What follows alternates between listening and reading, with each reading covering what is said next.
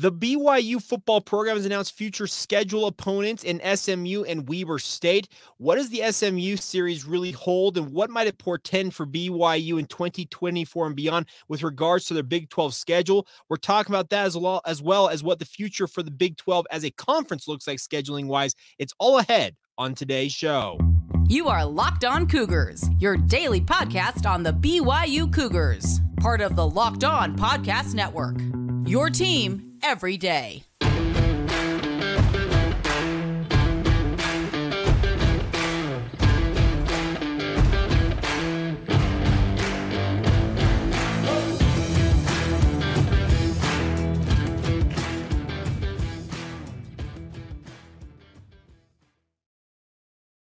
Everybody. I'm Jake Hatch, your host here on Locked On Cougars, your resident BYU insider. Thank you for making Locked On Cougars your first listen of the day. Thank you to all of you who are everydayers with us right here on the Locked On Podcast Network.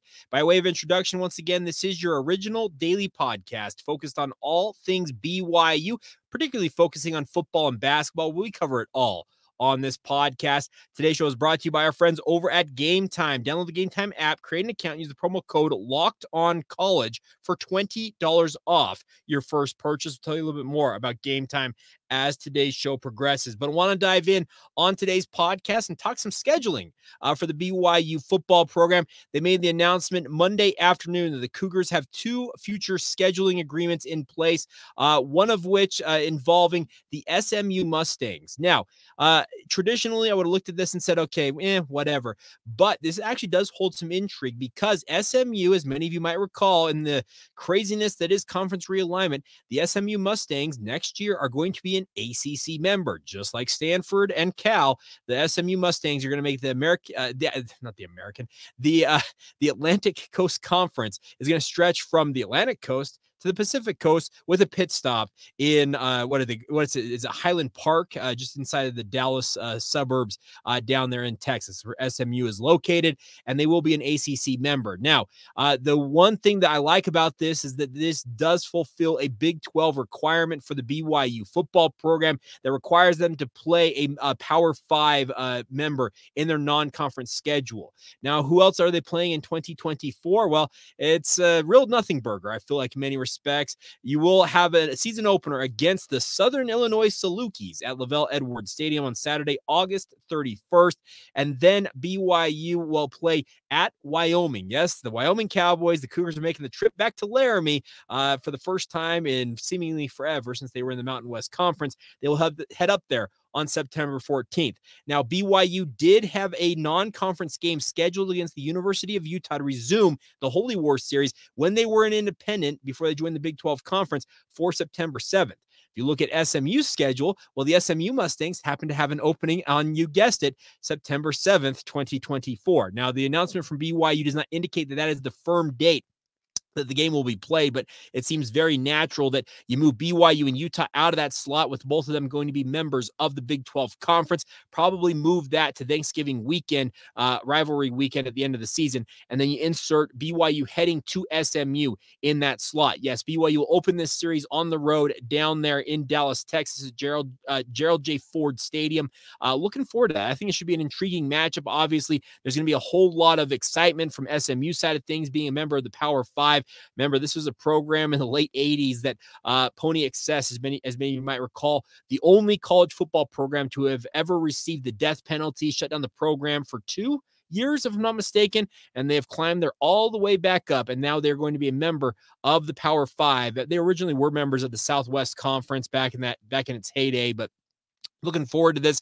Uh, there will be a return trip from SMU uh, being paid to Provo, Utah in 2027. Uh, no date has been set on that one, but uh, you can assume it'll be probably be in the early part of the season uh, for BYU. But 2027 is also the other part of the scheduling announcement that BYU made is that the Cougars are going to open up the 2027 and 2030 seasons against in-state FCS foe Weber State. Uh, the Cougars and the Wildcats will rematch in that one. Looking looking forward to this. I, am of the opinion that uh, you, let many of you know, if you don't at this point, you, you haven't been listening long enough, that I am no fan of the FCS games. I just don't think they're necessarily worth people's time. If it were up to me, you could play FCS games, but when would you play them? I would actually play them in the spring. I would make it so the end of spring ball for each of these Division One FBS programs that you can play an FCS opponent at the end of spring ball, essentially as a uh, cap. Uh, it's your spring game, and it's a legit spring game because you're playing an opposing team, and it gives you a chance to really uh, uh, see how your guys have progressed through a month's worth of camp. Now, I know that's a far cry uh, from ever really happening, but nonetheless, if you're going to play an FCS game, in my opinion, for BYU, make it a regional game, whether that's Southern Utah, Utah Tech, or in this case, Weber State. And I even would uh, say that I'm okay with Idaho State as well, uh, playing BYU as that FCS opponent. I don't want the likes of Wagner and Savannah State and some of those far flung FCS programs that have made the trip to BYU in the past. Give me a local team with some local names I'm going to recognize, even though it's a body bag game and BYU's paying them a check to have them come in and let BYU beat up on them. But nonetheless, Weber State will make the trip uh, to Provo in 2027. Uh, that is going to be interesting because now you know two of the non conference games for BYU in the 2027 season. What does that hold for the rest of the schedule in 2027? It's anybody's guess. That's the thing about this is BYU had to cancel so many series uh, when it came to exiting independence and going into the Big 12 conference. There was always looking at it and saying, okay, what are they going to cancel? What series are going to uh, wriggle the way out of? Will they restructure some of these? That's the biggest thing for BYU is you look at the schedules and they're going to be very judicious in how they schedule this. There's a reason why they picked SMU because SMU is not going to be a world beater next season in the first year of uh, playing at the Power Five level in the ACC. Yes, there'll be a whole lot of excitement, but uh, I think you can just look at the other three newcomers to the Big 12 conference this year. Uh, speaking of Cincinnati, Houston, and UCF, and look at the fact that they are one in 14 in Big 12 conference play right now, and that should give you some indication of what SMU is probably up against as they make the leap to the Power Five level. So uh, I think it's a solid addition to the schedule for BYU. It's very much a winnable game on the road down there in Dallas. As I said, there'll be plenty of excitement on the part of SMU, but uh, the nice part is 2027 and 2030. You already know what your season openers are going to be for the Cougars. Uh, September 4th, 2027, Weber State comes to town, and then August 31st, 2030, uh, the Cougars are welcoming Weber State once again uh, to Provo. So, uh, all things considered, I think it's a pretty solid schedule. I think there's two intriguing road trips in the non-conference slate next year for BYU. Unless any of you be worried, saying, "Well, Jake, are they only going to play five home games next year?" No, because the unbalanced nature of the nine-game conference schedule in the Big 12. This this year, BYU played four home conference games. They're playing five of them on the road. Well, next year it flips. You have five home conference games and you play four on the road. I would assume that uh, Utah would absolutely uh, argue and beg and scream, cry, do whatever they have to do to make sure that BYU makes the trip to Salt Lake City as was scheduled uh, in the in the previous agreement between the two schools next year in conference play. But I'm okay with that. The nice part is BYU will have five conference games at home, and seeing as BYU is yet to win a conference road game, that's advantageous for the Cougars. So yes, the only non-conference home game next year is your FCS game. The other two uh, will be a trip to Dallas to take on SMU, and the other will be uh, making the trip up I-80 to watch uh, the Cougars and the Cowboys. Speaking of Wyoming, uh, renew acquaintances, uh, longtime rivals, obviously. And you know that Wyoming fans absolutely love BYU fans. Let me tell you about that. Uh, no, nonetheless, uh, I'm actually planning to make that trip uh, to Wyoming. I'm probably just going to drive out to it. Uh, I, there's just like this uh, I don't know, nostalgia factor to that series. Uh, very much would like to make the trip uh, to SMU. Many of you know that uh, I, I self fund a lot of my trips, and obviously, uh, it's be, thanks to you guys' support, I'm capable of doing that. So, uh, kind of already kind of planning out and looking forward to seeing what the future schedule for BYU is going to be. I'm hopeful that they will do what the ACC did yesterday and announce essentially the 2024 through 2030 uh, conference schedules. Now, you don't necessarily have dates, but you'll know the opponents for BYU in the new uh, era of the Big 12 conference. 16 teams. There's going to be some scheduling that's a little quirky. I'm sure they will uh, absolutely work it in because they've, they've already said that the ACC, uh, they will, every member of the 17 team ACC is going to play each conference member at least twice in a rolling, I think, seven year period. Uh, you can probably make it into a six year period. Speaking of the Big 12, and uh, looking forward to that. Now, uh, what does that hold? What does the future hold for the Big 12 in conference scheduling? I had a conversation with somebody yesterday about this as we were kind of going back and forth on how things looked for BYU on that schedule in 2024 and uh, what things are going to look like uh, eh, in 2024 and beyond. I'm going to share that with you guys. I get some inside intel, as it were, uh, coming up here momentarily. Now, a word real quick on our friends over at Game Time. Now, and many of you out there like going to sporting events, whether it's BYU basketball, BYU football, Utah Jazz games, uh, you like going to theater, comedy, uh, music uh, concerts, no matter what you're into, Game Time has got the tickets for you guys. Uh, Game Time is the fast and easy way to buy tickets for all the sports, music, comedy, and theater events near you. And with killer last minute deals, all in prices, views from your seat, and their best price guaranteed, Game Time takes the guesswork out of buying your tickets. The best part about it is it's all done inside the comfort of their easy to use app. Uh, you can see exactly what the view from your seats is going to be. They have a best price guarantee. And if uh, you get me the game time guarantee means you always get the best price. If you find tickets in the same section and row for less, game time will credit you 110% of the difference, more than what you would have originally paid. They'll give to you because they guarantee uh, they are going to give you the best price. So download the game time app today, create an account, use the promo code locked on college for $20 off your first order. Uh, terms apply. Again, create that account and redeem the code, promo code locked on college. That's L O C K E D O N C O L L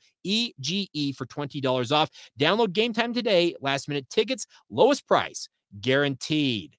Today's show is also brought to you by our friends over at UCCU. The Learn and Earn uh, UCC mobile banking app is an app that's paying your entire family to learn about money. All of us uh, want to be smarter when it comes to our finances, and obviously, not all of us are geniuses and studied economics and the like in college. That's where UCCU and Learn and Earn comes into the fray. They have broken down financial topics into fun, bite-sized educational games like quizzes and trivia. And more importantly, every time a family member or yourself completes a topic, you earn points that accrue and can be redeemed for gift cards stores like Amazon, Apple, Sephora, Walmart, Nike, and many, many more. There's age appropriate content for every member of the family who can compete against one another and track your progress on leaderboards as well. Learn and Earn is available inside the UCCU mobile banking app. So play it anytime, anywhere. And of course, the more you play, the more you learn. And the more you learn, the more you earn. Learn and earn, part of UCCU's award winning Be Money Smart Youth Banking System, uh, helping kids, teens, and parents have fun while becoming more financially literate together. It's all courtesy of Utah Community Credit Union. Love where you bank. Thank you once again for making Locked On Cougars your first listen of the day. Thank you for being every day with us right here on the podcast. All right, I've got one final pair of tickets to BYU's exhibition opener tomorrow at the Marriott Center for the men's basketball program as they take on Life Pacific. Uh, by the way, I just learned that uh, Life Pacific is out of San Dimas, California. San Dimas football rules. Uh, if you know that movie reference, uh, uh, uh that's that's gonna be the contest right now. You want to win, win a pair of tickets to go see BYU and Life Pacific play basketball tomorrow night at the Marriott Center. I've got a pair of tickets with your names. If you can name the first person to respond to me via email with the name of the movie that uses that phrase, San Dimas football rules you will be on your way to watch BYU and Life Pacific play basketball tomorrow night at the Marriott Center. Shouldn't be a hard one uh, to figure out, but nonetheless, first person locked on BYU at gmail.com with the correct uh, movie title. Uh, you will be on your way to watch BYU basketball tomorrow night. All right. Uh, as I mentioned, I had a conversation with a friend. Uh, I consider a friend, I guess, an acquaintance, whatever you want, a colleague, uh, as it were. we were talking yesterday about the scheduling agreement for BYU. And we kind of got onto the topic of what the future of the Big 12 schedule is going to look like because it's going to be a whole new look next year uh, for the Big 12 conference. Obviously, Texas and Oklahoma take off for the SEC. You add the newcomers in Utah, Arizona, Arizona State, and Colorado to the mix, and it's going to be a 16 team league that stretches from the East Coast all the way uh, to the Mountain Time Zone. And in the case of the Arizona schools, half the year they're essentially in the Pacific Time Zone. So it's a big conference. It's very stratified and it is very spread out. So, what is the scheduling philosophy going to look like for the Big 12? Well, uh, having this conversation yesterday, uh, I'm not necessarily breaking any uh, huge news, I feel like, but I can tell you this much. Uh, the word that uh, me and my colleague are hearing, uh, and I confirmed this after talking to some other people, after this conversation is that the Big 12 plans to uh, keep it more regionally scheduled as as of now. Now, this could all go up in smoke. It can, can be completely changed on a dime. It feels like Brett Yormark uh, gets one idea and he, he's like, you know what, that's that's genius. We're going to go with that, and he could change all of this. That absolutely could happen.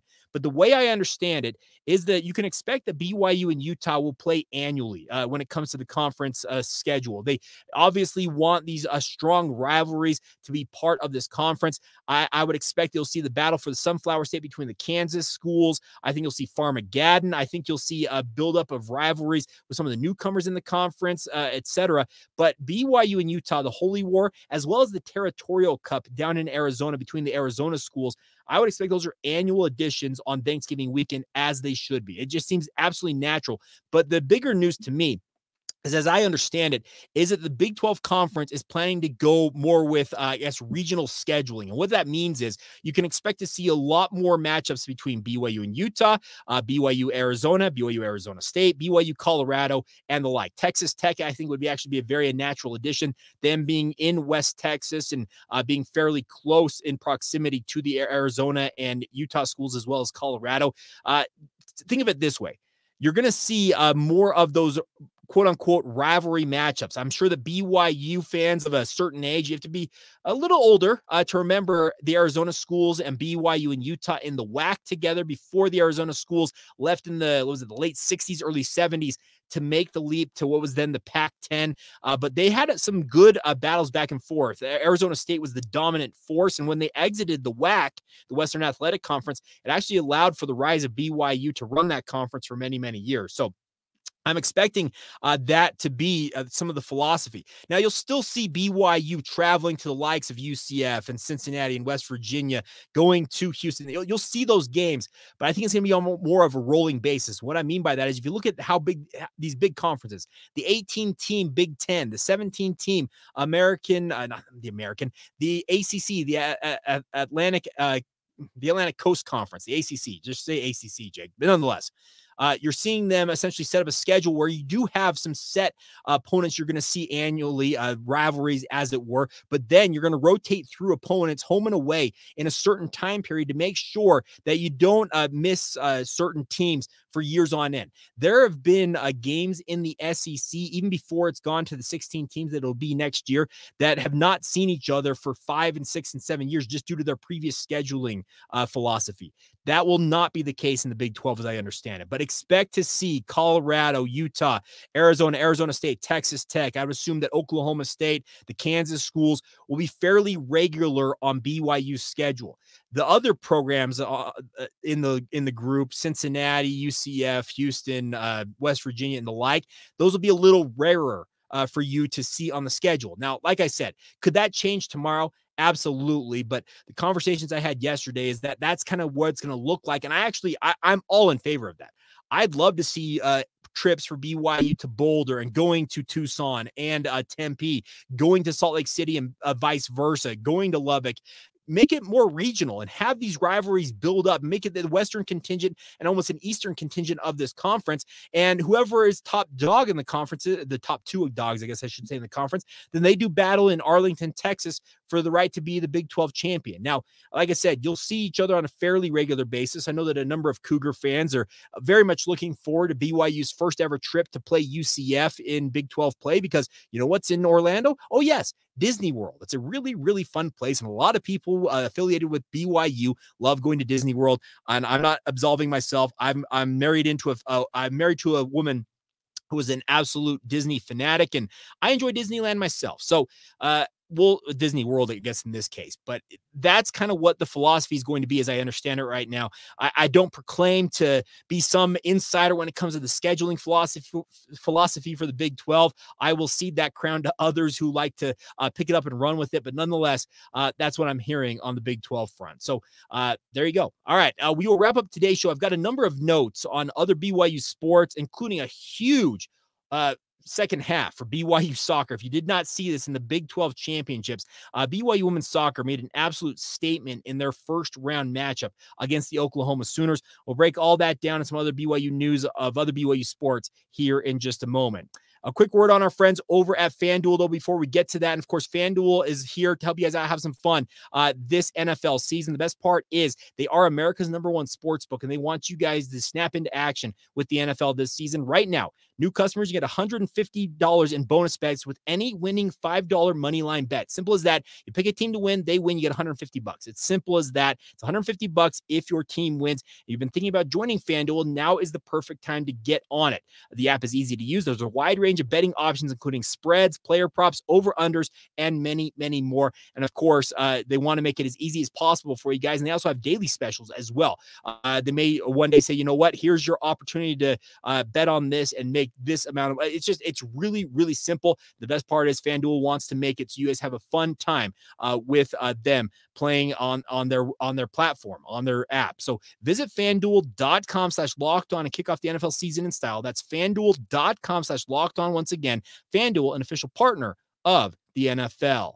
Today's show is also brought to you by our friends over at Perry Homes. Perry Homes, one of our great local sponsors. And of course, my friends, if you're looking for your first home or ready to upgrade to your dream home, Perry Homes has a house for you. And by the way, anything in between those two uh, scenarios, they've got the options for you. For 50 years, Perry Homes has been Utah's premier home builder with communities throughout the state. They have many communities home designs and price points all designed to meet your needs as a homeowner. They have beautiful communities in Davis, Salt Lake, Tooele, and Utah counties. They even have multiple communities in Washington County near St. George as well. If you want to live in Red Rock country, get on it now. They offer over 50 unique home designs from ramblers to two stories to townhomes. And of course, in this uh, crazy inflationary uh, market, they're offering generous financing incentives to their preferred lender as well. So get on it today, my friends. Visit perryhomesutah.com to see what's new in Utah's finest neighborhoods. That's Perry Homes Utah, P E R R Y, perryhomesutah.com to learn more now. For 50 years, Utah has been coming home to Perry Homes. Thank you once again for making Locked On Cougars a part of your day. Hope you have a fantastic Tuesday whenever you hear this. Uh, by the way, coming up on Friday, make sure you check out the Locked On College Football Kickoff Live. It'll be available uh, live on YouTube at 9 a.m. Mountain Time. Goes for an hour, covered all the big storylines going into week 10 of the college football season. So uh, check that out on YouTube on Friday morning or catch the podcast version of it uh, that's posted shortly thereafter.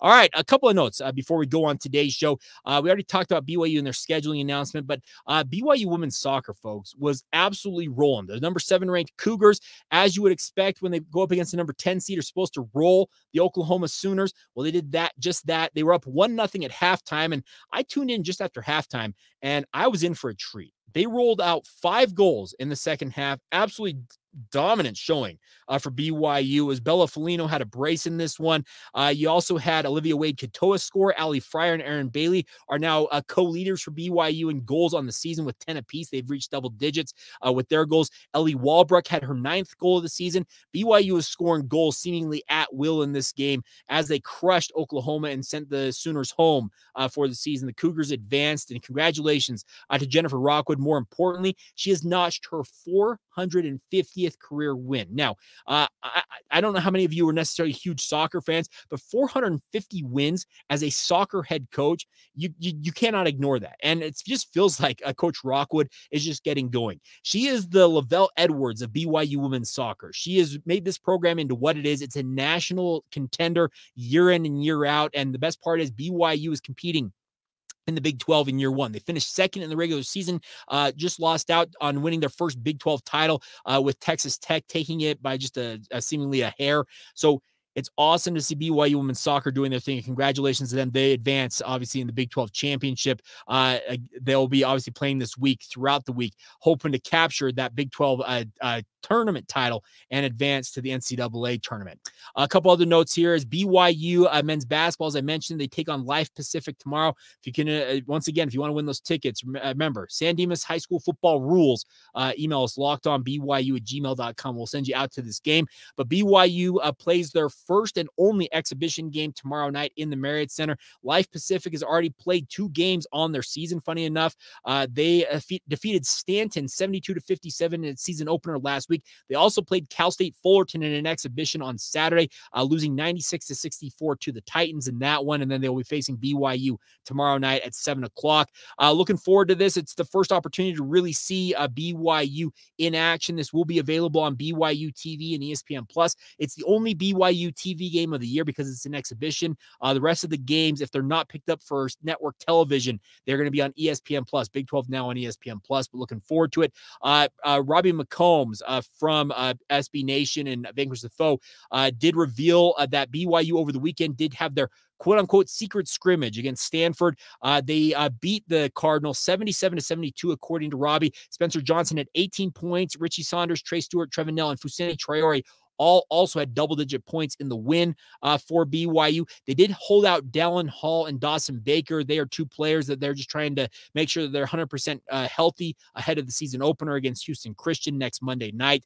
I wouldn't be surprised to see both of those players miss this game. Uh, speaking of the Life Pacific matchup uh, tomorrow, but uh, we'll have more for you guys as that gets a little bit closer. But uh, solid showing for BYU, all things considered, because Stanford, they're a Pac 12 team and they've got a proud tradition. So a nice win for the Cougars in that regard. All right, the final note I got for you guys uh, today is uh, I want to say best of luck to Jaren Hall. It was really cool on Sunday. I forgot to note this on our Monday podcast to see three former BYU quarterbacks taking snaps at quarterback in the NFL over the weekend. Zach Wilson obviously rallying the troops and getting a win uh, to improve to four and three on the season with the New York Jets with their 13 to 10 win over the New York Giants. Then you had Taysom Hill running for two touchdowns and taking snaps at quarterback for the New Orleans Saints in their W. And then finally, uh, and it's unfortunate the way it went down because Kirk Cousins did rupture his Achilles tendon. He is done for the season. But we saw Jaren Hall take his first career snaps in the NFL in relief of Kirk Cousins in their win over the Green Bay Packers. Funny enough, going up against Utah State quarterback, former Utah State quarterback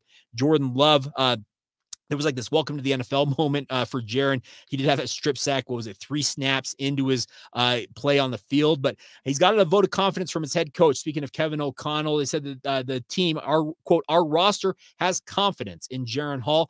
Who knows if he ends up being the starter for the rest of the season? There's a lot of conjecture out there about what the uh, Vikings are going to do, but you know what? The all you can ask for if you're Jaren Hall is a chance, and he's been given that opportunity, and we'll see how he does with it. Hopefully, he can pick it up and run with it, and uh, prove what he's capable of at the NFL level. So there you go. All the news and notes I've got for you guys on a Tuesday edition of the podcast. A huge thank you once again uh, for joining us here on the show. Thank you once again for making it your first listen, as I often say, and thank you for being everydayers with with us on the podcast as well.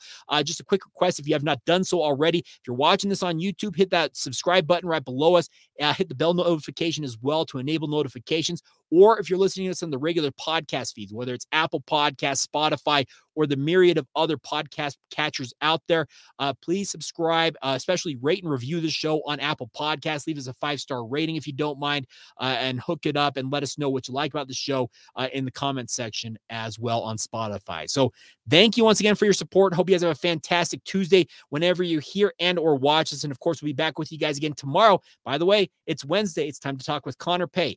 What did he make of the Texas game? What does he make of going out to West Virginia for BYU's game this weekend against the Mountaineers? We'll talk about all of that and a whole lot more. And happy Halloween once again to all of you out there in Cougar Nation as well. Enjoy whatever's left of your Halloween holiday, and we'll be with you guys again on a November 1st edition of Locked On Cougars. See ya.